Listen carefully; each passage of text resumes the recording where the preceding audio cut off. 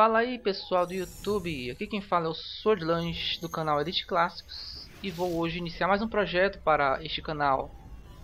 Será mais um jogo da Disney, seguindo a tendência do meu último projeto, que foi o Donald para a Super Nintendo.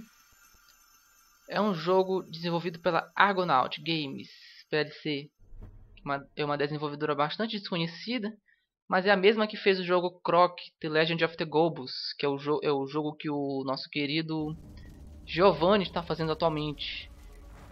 E o jogo que nós vamos fazer é Disney's Aladdin in Nazira's Revenge.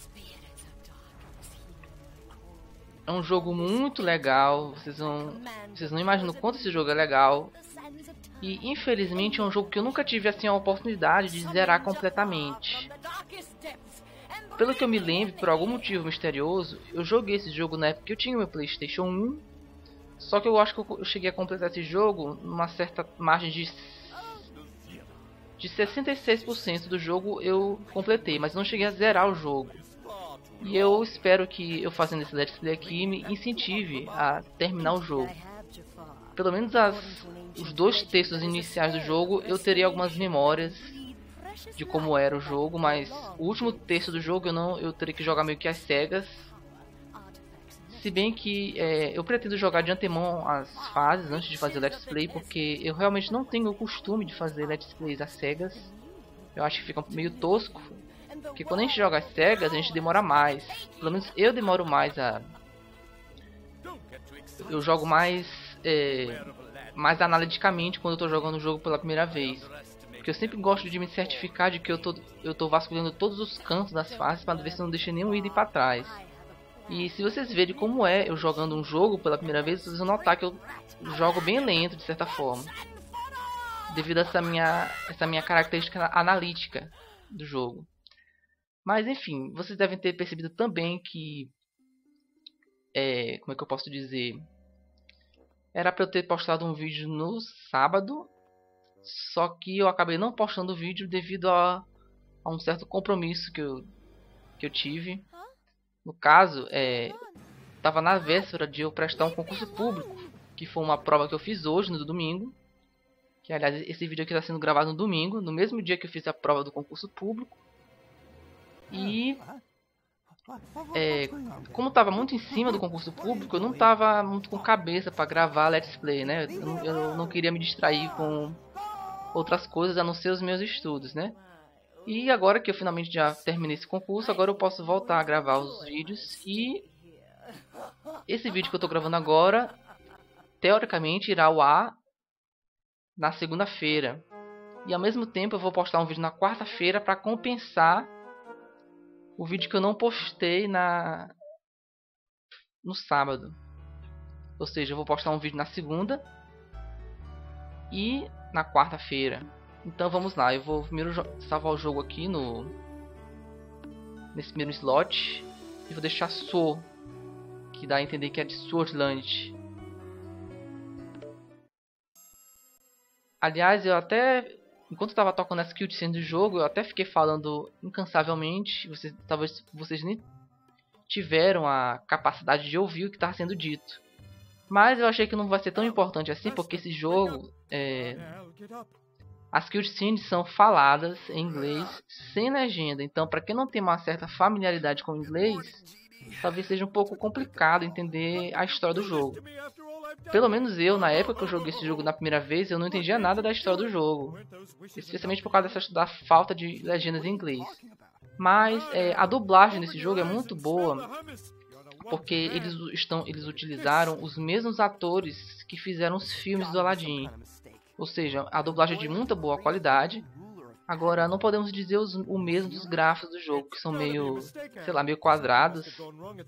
Até as, até os, as cutscenes em FMV, como essa daí, não são muito bem feitas. São mais ou menos os gráficos do jogo mesmo, só que em forma de FMV. Mas deixa eu tentar explicar para vocês de maneira resumida o que aconteceu no jogo. Existe uma feiticeira chamada Nazira, que ela é a irmã do Jafar, que era o vilão da, dos filmes do Aladdin. E ela estava querendo ressuscitar o irmão dela. Agora fase 1, Agrabah. ela está tentando ressuscitar o irmão dela, que é o Jafar. E para isso, ela vai precisar de alguns artefatos divinos, sagrados, que estão escondidos, escondidos no deserto. É a única maneira dela usar a magia de, de Resurrect no Jafar é ela pegando esses artefatos mágicos. Aí ela invoca a alma do Jafar e o Jafar diz que é para ela ter cuidado com o Aladdin e o gênio. Eles, eles podem impedir os planos deles. É uma coisa assim, mais ou menos. Aí a, a Nazira invade o, o, palácio do sultão, sequestra o, o sultão e a Jasmine. E. Pois é, ela sequestra elas e a, e a Nazira passa a ser a, a, nova, a nova governadora de Agrabah. E depois o, o gênio aparece, acorda o Aladdin e conta para ele que agora a nova governanta de Agrabah é a Nazira. E de que colocaram um prêmio na cabeça do Aladdin. Colocaram aqueles posterzinhos de Wanted para dizer que o Aladdin está sendo procurado pelas autoridades árabes do jogo. Vocês podem perceber que quando eu me aproximo dessas dessas lâmpadas que tem o que tem o gênio, ele me dá algumas dicas de como proceder no jogo, de me dá, me fala como é que é os comandos do jogo. Aqui no caso ele está falando que eu tenho que coletar três, quer dizer, cada fase tem três gemas vermelhas que eu posso coletar. E eu coloquei, eu peguei uma bem aqui, se vocês viram. E também que ele na, na, na primeira lâmpada que eu entrei em contato, ele me contou que eu, eu tenho que coletar essas essas moedas que elas servem de dinheiro em alguns pontos do jogo. Mais especificamente na terceira fase do jogo, vão ter alguns vendedores que vão prestar seus serviços mediante remuneração. E para isso vou ter que coletar essas moedinhas para poder comprar alguns itens que vão me permitir dar é, vão me permitir prosseguir nas fases normalmente. Só que de maneira geral eu vou procurar evitar essas lâmpadas, essas lâmpadas do gênio porque eu já sei como é que a gente controla, como é que a gente joga esse jogo. De maneira geral, ele ia me explicar que para girar a câmera eu tenho que apertar L2 ou R2, ó. Assim, ó, para girar a câmera. E se eu apertar os dois botões ao mesmo tempo, eu centralizo a câmera para a frente do Aladdin. Bastante útil isso. Mas esse, esse tipo de controle é muito comum em, em jogos de ação, de plataforma. Então até aí nenhuma novidade, né? Tá aqui eu vou ignorar essa lâmpadazinha de novo. Aqui tem o nosso primeiro inimigo. E ele dropou uma gema.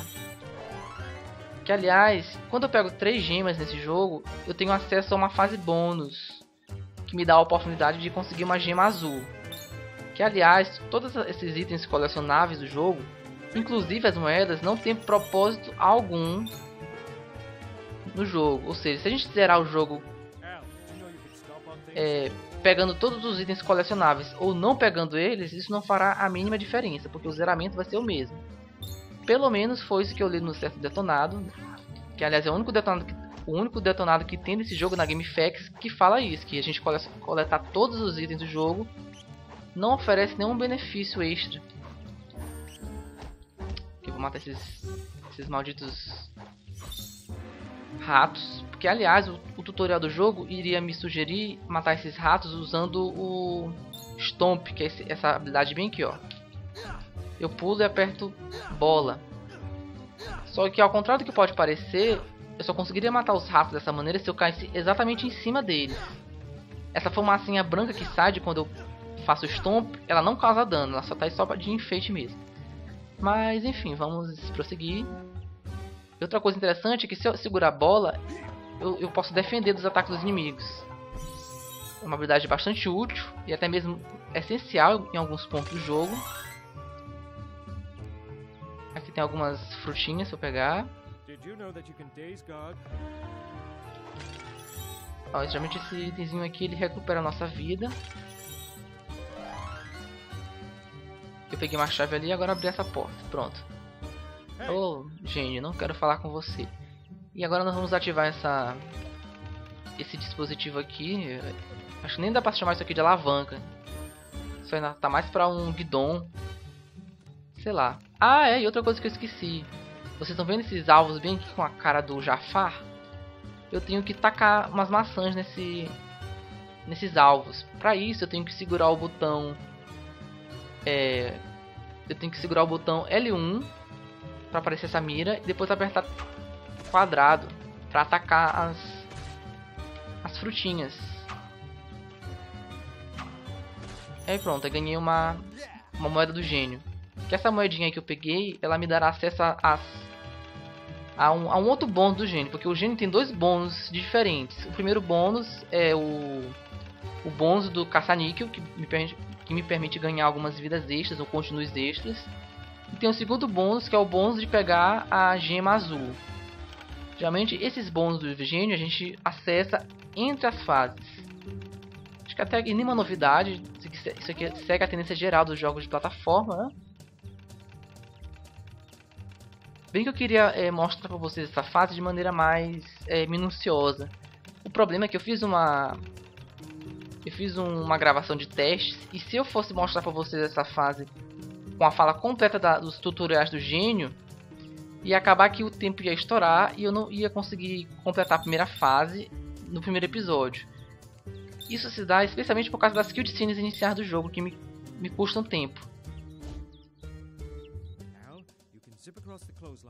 Ó, aqui ele está dizendo que eu tenho que pular bem aqui e escorregando esse fio e pronto, esse é o fim da primeira fase.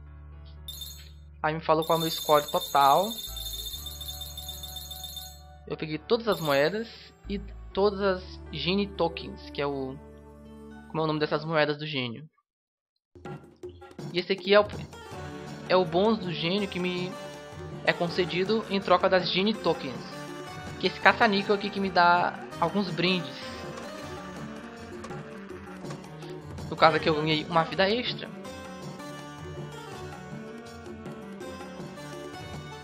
Agora vamos tentar de novo. Se eu pegar a cabeça do Aladdin dourada, eu ganho 3 vidas extras. Ah, infelizmente eu peguei a, a cabeça prateada. Mas é melhor que nada, né? E aqui está dizendo com, é, o tutorialzinho para como controlar o próximo bônus. É só se, se mover nas direções, nas quatro direções e apertar X para pular. Nesse bônus aqui eu tenho que pegar 100 moedas nesse percurso aqui. Geralmente esse bônus da moeda gema azul é o mais fácil de todos. Porque depois que a gente se acostuma na mecânica desse bônus aqui, fica facinho, ó. Primeiro a gente, a gente é, salta reto nessas, nessas nuvens e depois a gente salta pra frente não é recomendável a gente saltar, a gente saltar para frente direto. A gente sempre tem que saltar para cima primeiro e depois a gente salta para frente. Por quê? Pra gente certificar de que a gente está pegando todas as moedas. Agora, agora... Hell yeah. E eu ganhei a Genie Gem. Quer dizer, a, a gema azul do gênio. Hell yeah.